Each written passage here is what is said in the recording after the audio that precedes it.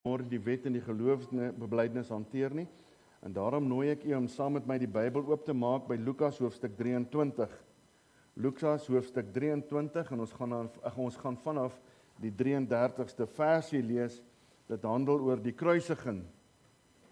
Nou ek uh, besef terdee ons is nou in 'n uh, Kerstyd waar ons die koms van die Here Jesus na die aarde gaan herdenk. Maar hierdie gedeelte van môre soos ons glo die Here wil hê ons moet hierdie praat handel rondom die gebeurtenis daar op Golgotha. En ek uh, is seker u sal nou begin verstaan ook al die liedere wat ons gesing het dat dit die Here se wil is dat ons vanmôre hierdie woord met u sal bedien. Die kruisiging Lukas 23 vanaf die 33ste versie. Nou terwyl u die woord van die Here so voor u oop het op die skoot, kom ons sit net so ons maak ons oë toe, ons buig ons harte, dan gaan ons hierdie geleentheid in gebed aan die Here afgee. Ons aanbid U vanmôre, Here, vir U onuitspreeklike liefde wat U el, vir elkeen van ons het. Ons aanbid U vanmôre omdat U God is omdat u waardig is. En Here, omdat u vir ons u deel wil maak. En ons vra asseblief terwyl ons vanmôre ook kan weet en weet op grond van u woord dat u saam met ons in u volheid hier teenwoordig is. Here, al sien ons u nie, al voel ons u nie kennelik aan nie. U is hier want u beloof waar daar so min as 2 en 3 rondom my naam, rondom my woord bymekaar kom, daar sal ek in hulle midde wees. En Here, u ken ook die begeerte en die behoefte van elkeen van ons se harte. U weet, Here, wat ons vanmôre nodig het, elkeen van ons nodig het om te hoor.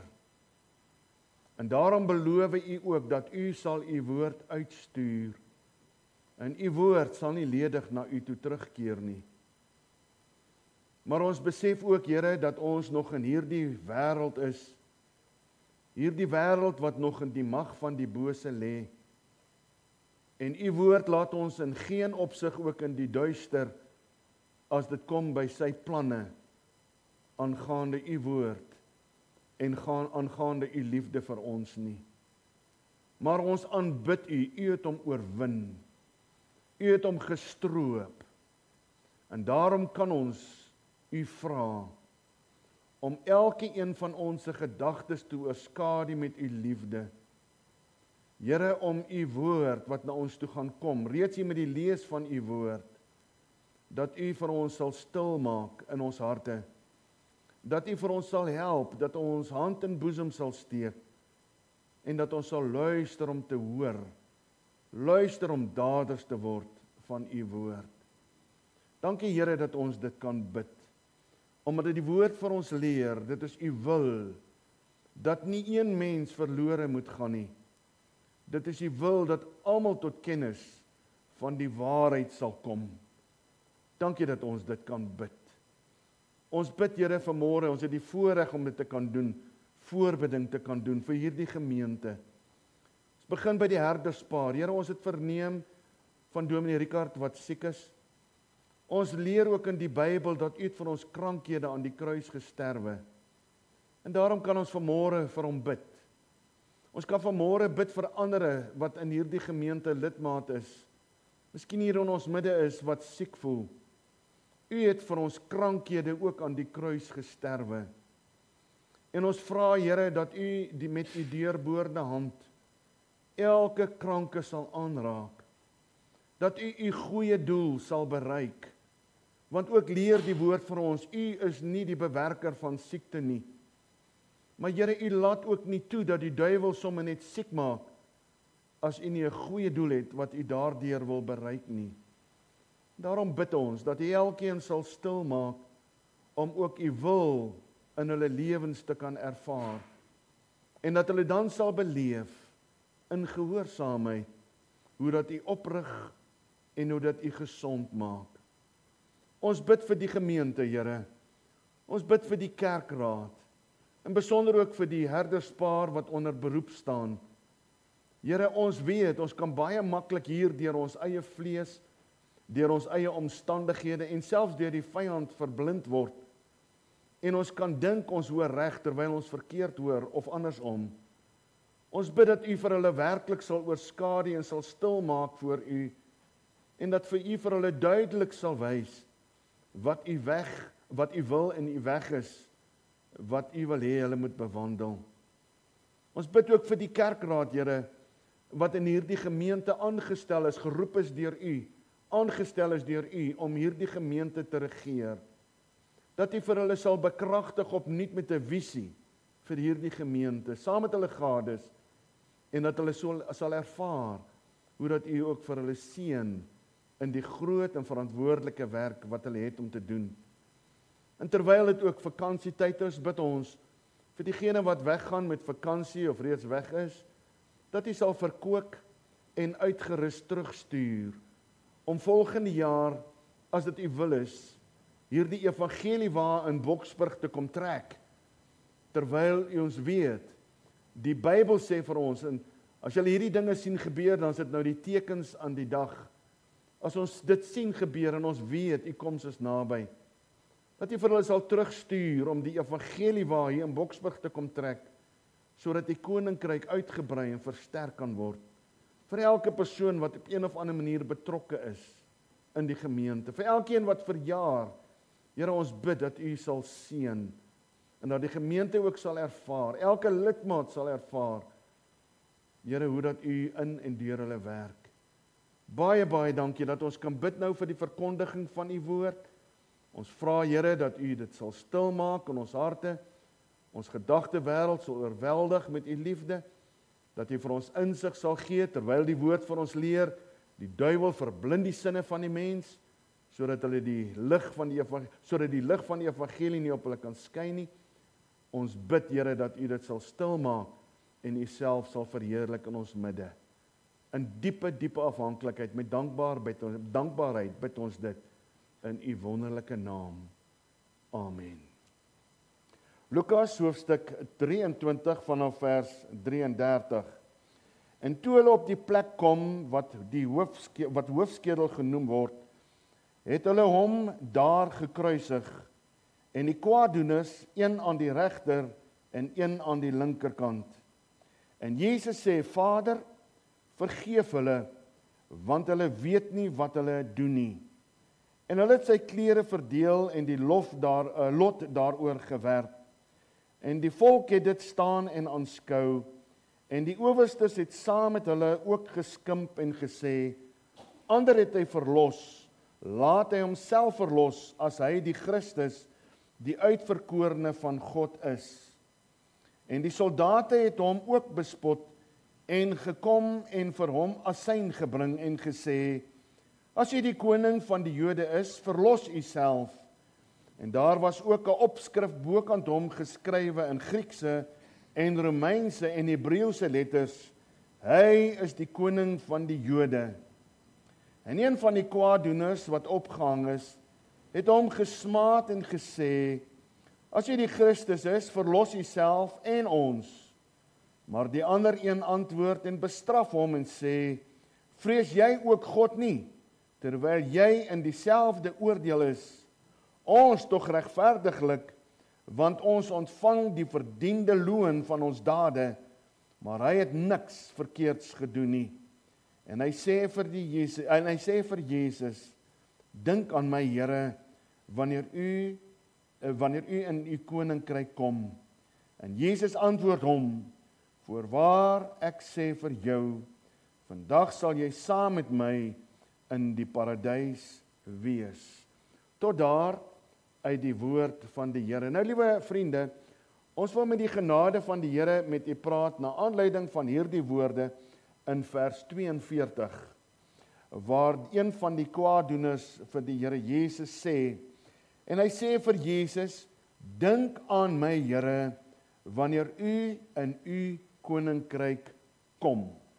Dink aan my, Here, wanneer u in u koninkryk kom. Ek wil vanmôre met u praat met die genade van die Here na aanleiding van hierdie gedeelte wat ons gelees het, maar in besonder hierdie teks van oordenking rondom die tema 'n sondaar wat sy laaste geleentheid gebruik. 'n Sondaar wat sy laaste geleentheid gebruik.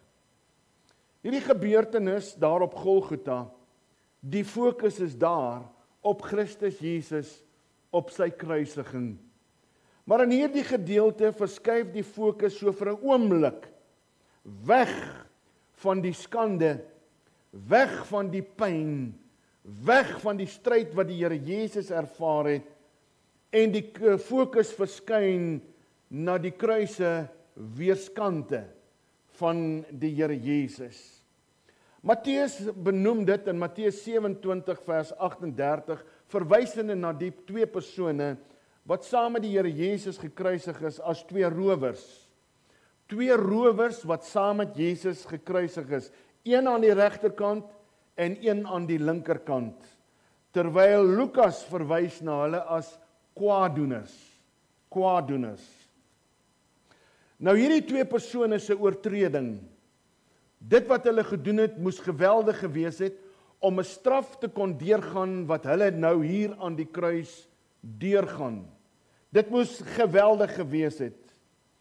Maar wat wonderlik is van hierdie twee persone, hulle het wetende wetende terwyl hulle daar aan die kruis gehang het waar hulle saam met die Here Jesus op weerskante van die Here Jesus gekruisig is, het hulle geweet.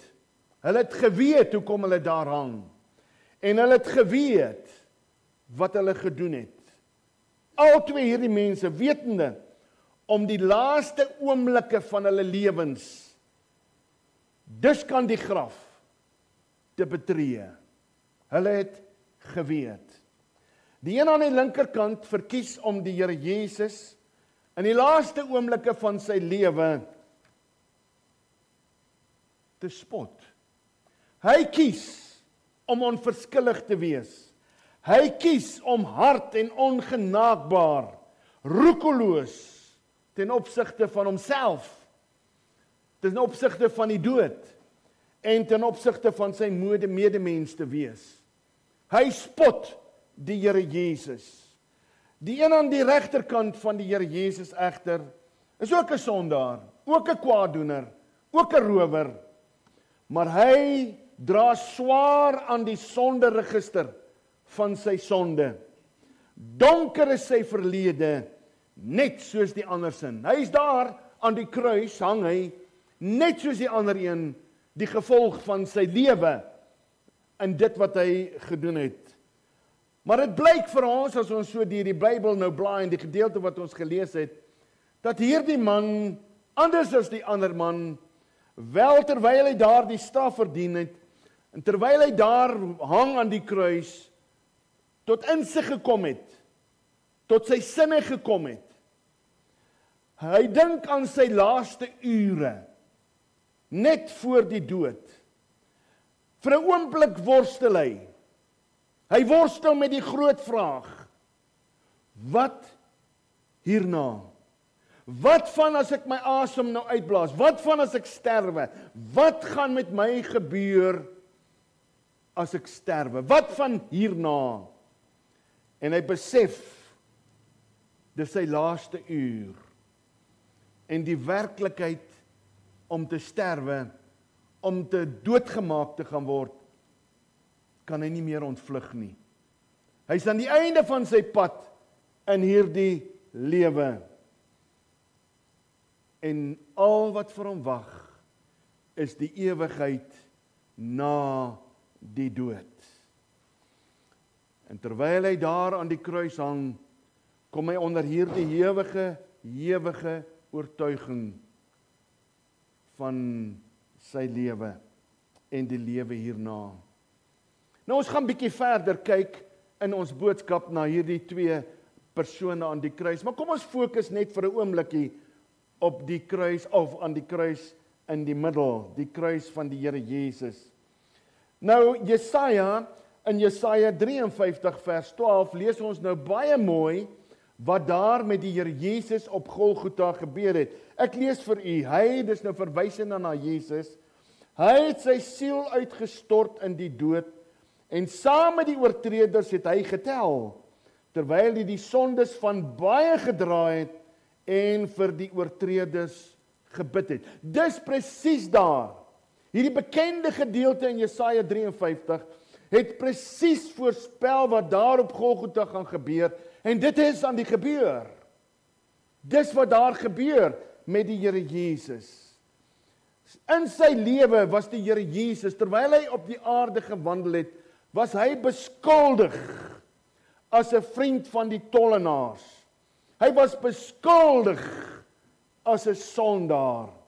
Nou selfs in sy laaste oomblikke in hierdie lewe vind ons die Here Jesus waar hy tussen twee kwaaddoeners gekruisig word. Hier op Golgotha sien ons die Here Jesus hoe dat hy die ehm um, verdeeldheid tussen mense en dit bring. Die een word gered. Die een verlore. Die een roep na die Here Jesus om verlossing. Die ander een volhard in sy sonde. En so was die bediening van die Here Jesus voortdurend om verdeeldheid tussen mense te bring. Hy hang daar aan die kruis om vir die sonde van die mens te betaal. En die Here Jesus hang daar en so Simeon vir ons later lees ons sien of sê van hom getuig van hom in Lukas 2 vers 3 en 2 vers 34. Hy is 'n teken wat weerspreek sal word 'n val en 'n opstanding vir vele. En dis juis 'n bewys, 'n getuienis van dit wat hier op Golgotha gebeur. 'n Teken van verval, 'n teken wat weerspreek sal word. Dit wat die Here Jesus hier op die aarde kom doen het. Die een bespot hom, die ander aanbid hom. Die een sien in hom 'n valse Messias, hoon hom en tart hom. Die ander een sien in hom die koning van heerlikheid. Vir die een is die kruis van die Here Jesus 'n rots van ergernis en aanstoot waarop sy onverskilligheid skriftelik lê en hy vir ewig omkom. Hy volhard in sy hartheid. Hy volhard in sy keuse wat onverskilligheid en sonde betref terwyl die ander een as drenkeling sien hoe dat hy die rots van die rotse, die Here Jesus nodig het om sy siel te kom verander, sy lewe te kom verander. En dit liewe vriende, vanaf die Here Jesus daar op Golgotha gesterf het, van hierdie gebeurtenis op Golgotha, is dit tot vandag toe nog dieselfde tot vandag toe nog bewerk is dit dieselfde wat gebeur tussen mense. U weet, as 'n mens tot die kennis of tot die insig kom om te kan onderskei tussen goed en kwaad, dan kry jy mense wat die Here Jesus verwerp en jy kry mense wat die Here Jesus aanneem. Jy kry mense wat hulle rug op die Here Jesus draai en jy kry mense wat na hom toe kom. Tot vandag toe nog. Vir die een lees ons in 1 Korintiërs 1 vers 18 is dit dwaasheid. Dwaasheid, die kruis, die uitnodiging, die liefde, die liefde van die Here dwaasheid terwyl dit vir die ander 'n krag van God is, 'n krag van God. En daarom het ons vanmôre die vrymoedigheid en daarom het ons vanmôre die blyheid, die blye boodskap, die sekerheid om hierdie woord van 'n persoon wat saam met die Here Jesus aan die kruis gehang het, die laaste geleentheid wat hy gebruik het met u te kan deel. Nie die negatiewe een, nie die negatiewe een, maar die een wat sy hart en sy lewe gewend het tot die Here Jesus. Paulus getuig. Hy sê dat daar sommige mense is wat die kruis van Jesus sien as 'n steen ten aanstoot. 'n Rots van struikeling. Daar's mense tot vandag toe nog is daar mense wat so daarna kyk terwyl die ander weer in Golgotha vind vreugde, blydskap en sekerheid van saligheid. Daardie om verander te word en nooit nooit weer dieselfde te wees. Nooit weer dieselfde te wees. Nou wat ons vanmôre hier leer en wat ons vanmôre hier sien is vir die mense daar's 'n verskil in betekenis die gebeurtenis op Golgotha. En daarom is dit belangrik dat ons by 'n geleentheid soos hierdie waar ons luister na die woord sal stil word en sê Here, wys vir my die betekenis wat u begeerte is vir my, wat ek moet verstaan, wat ek moet insien, sodat ek kan belewe wat hierdie sondaar, hierdie rower aan die kruis beleef het. Nou kom ons kyk net eers na die een kwaadoener aan die kruis. Die een wat opgehang is, het vir hom gesmaat en gesê: "As jy die Christus is, verlos u self en ons." Hy hang daar een tree in die dood, een aan die graf, in die dood en die laaste in die lewe. En hy spot met die Here. Hy spot met die Here. 'n Skouspel van die duisternis waarin die lewe en wat aan die werk is in hierdie lewe. Hy hang daar in die kake van die dood. Aan die einde van sy lewe het hy gekom. Hang hy daar en hy verhard hom in bitterheid. Hy verhard hom in spot. Hy verhard hom in onverskilligheid. hy volhard in hierdie wanhoop wat 'n mens belewe in hierdie lewe. En hy hang daar. Terwyl hierdie geleentheid hom gebied word om sy lewe met die Here reg te maak volhard hy in die verkeerde. Hy volhard. Ja hy sê Here verlos u self en ons. Maar hierdie verlossing wat hy soek is nie verlossing van sonde nie. Is 'n verlossing van die lewe want hy wil net teruggaan en gaan doen wat hy gedoen het verlos u en vir ook vir my om te kan voortgaan in my lewe. En liewe vriende, wat ons vanmôre hier moet verstaan in hierdie gebeurtenis in die geskiedenis van hierdie man is sonde. Sonde het 'n groot mag in hierdie lewe, 'n groot mag. Dit het 'n sterk houvas deur die werking van die duiwel in die lewe van 'n mens. Ons mag nie, ons kan nie hierdie mag. Ons kan nie die gesindheid en die werking van die duiwel onderskat as dit kom by die liefde en as dit kom by die mag van die duiwel nie. U weet ek lees vir u wat sê die Bybel hier in 2 Korintiërs 4. Hoor mooi wat sê die Bybel van die Here. Hy sê maar on, maar ons, ekskuus tog, as ons die evangelie dan bedek is, is dit bedek in die wat verlore gaan. Hoor wat sê vers 4 naamlik die ongelowiges in wie die God klein lettertjie van hierdie wêreld die sinne verblind verblind sodat die verligting van die evangelie van die heerlikheid van Christus wat die beeld van God is op hulle nie sou skyn nie. Daarom kan u weet as die Bybel sê die duiwel loop rond soos 'n brullende leeu, is dit die waarheid. En daarom kan ons weet hy sal alles in sy vermoë doen om die mens buite die wil van God te hou. God het die heerlikheid van die hemel verlaat in die persoon Jesus Christus na hierdie aarde gekom. God het ingewillig om in die persoon van Jesus Christus aan die kruis te sterwe, 'n marteldood, 'n vloekdood te sterwe. Hy het ingewillig om sonde gemaak te word ter wille van my en u sodat die mens in hierdie lewe verlossing en sekerheid van saligheid kan bevind. Die een kwaadoener het volhard in sy onverskilligheid, het nie kans gesien om die genade, dit wat hy by hom wat hy in sy teenwoordigheid afspeel, om daaroor te dink en uit te reik en te vra om verlossing nie. Hy volhard in die verkeerde.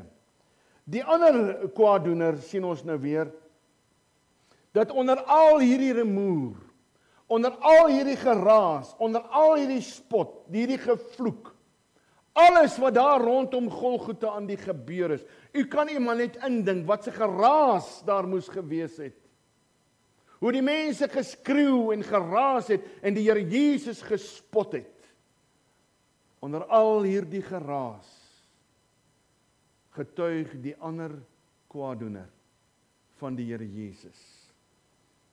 Dit was nie die vurige Petrus.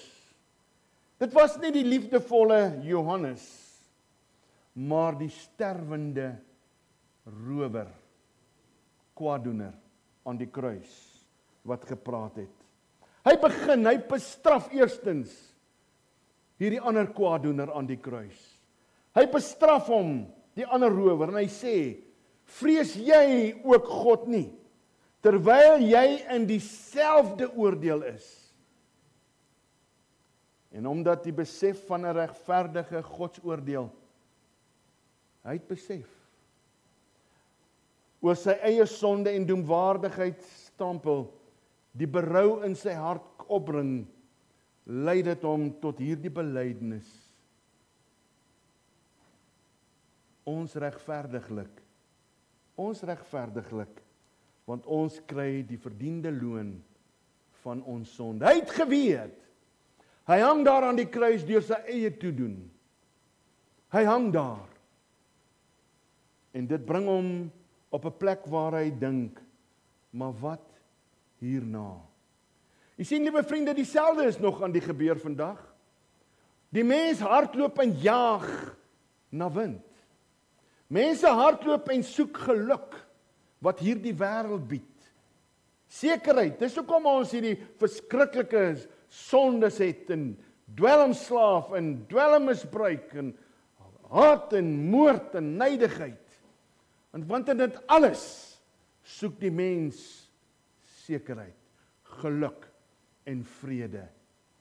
Terwyl ons vanmôre leer aan die geskiedenis van hierdie kwaadoener dat dit net Jesus is wat vrede en blydskap en saligheid kan gee.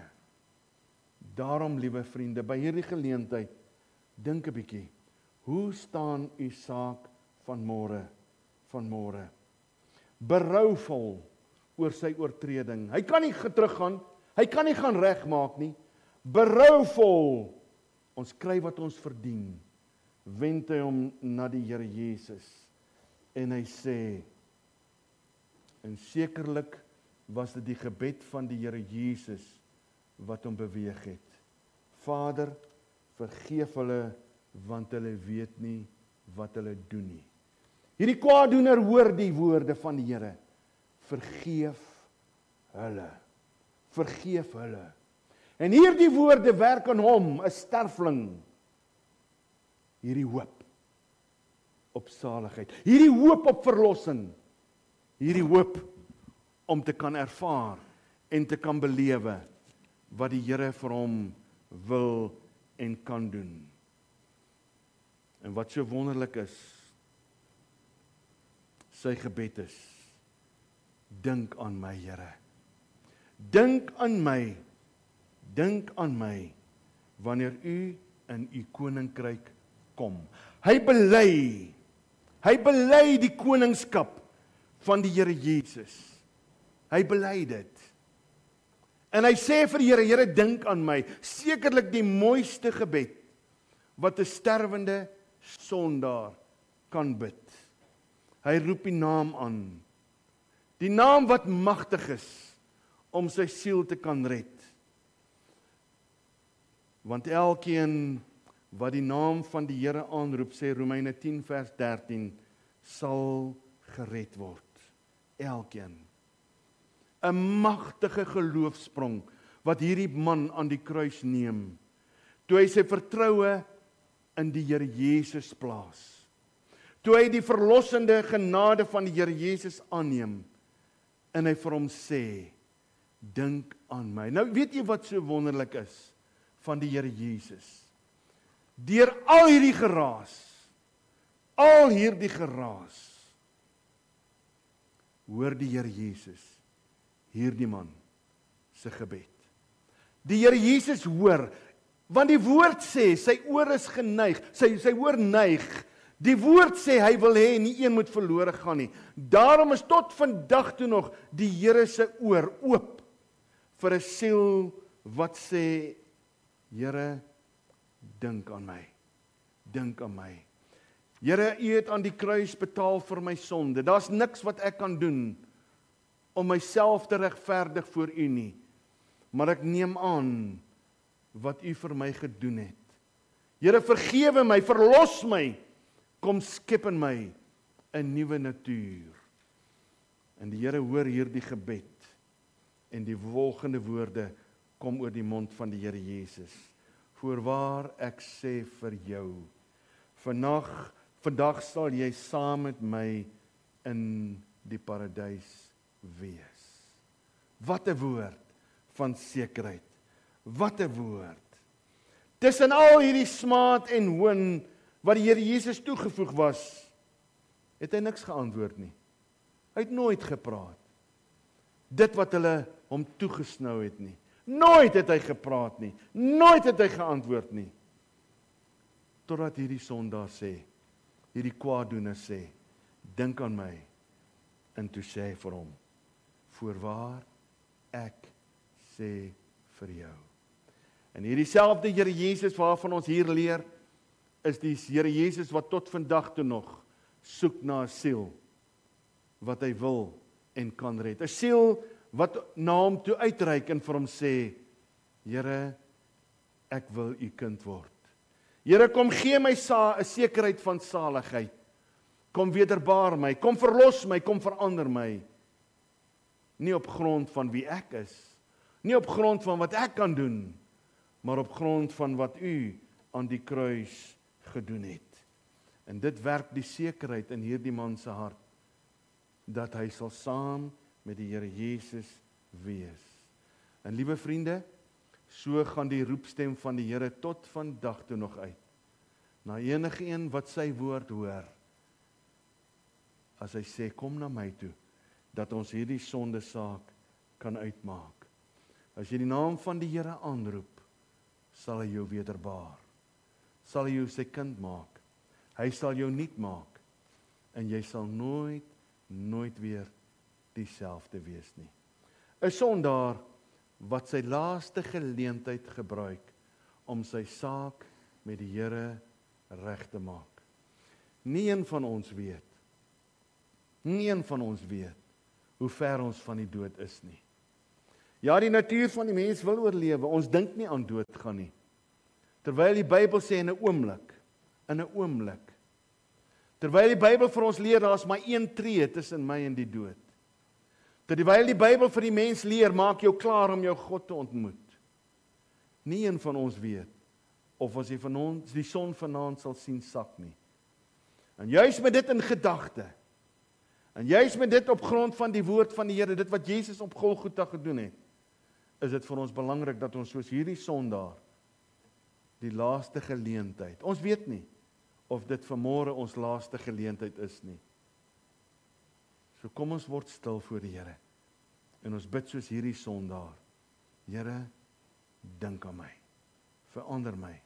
En dankie vir wat u aan die kruis gedoen het. Die Here help vir u. Amen.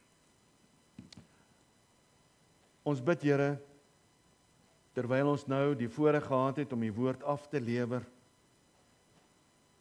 Bid ons dat u die naprediker van u woord sal wees en dat U elkeen die geleentheid en die genade sal gee om hulle geestelike lewens voor U in oënskou te neem.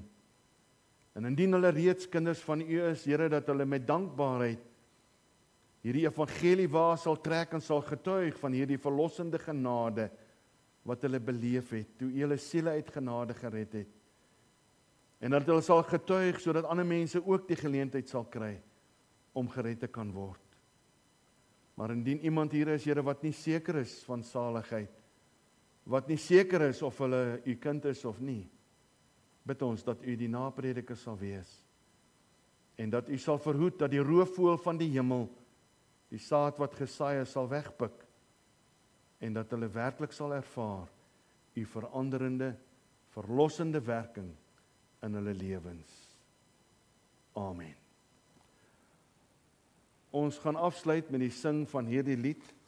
Nou ek wil 'n uitnodiging maak daar agter as u nou nie seker is nie, sal so 'n boekie wees stap vir stap. Neem gerus so een en dan gaan maak u die saak met die Here reg daar by u huis. Andersins praat met van die kerkraad, praat met iemand as jy iemand nodig het om saam met u te bid en net die weg tot saligheid aan u te verduidelik, dan help ons u graag en een van hulle sal u help. Maar moenie dat die roofvoël van die hemel die saad wat gesaai is kom wegpik en verhoed dat u die sekerheid van saligheid deelagtig sal word nie. Reageer nou as jy die stem van die Here geroep het. Daai versies, ons sing die versies soos dit op die bord verskyn. Staande saam asseblief.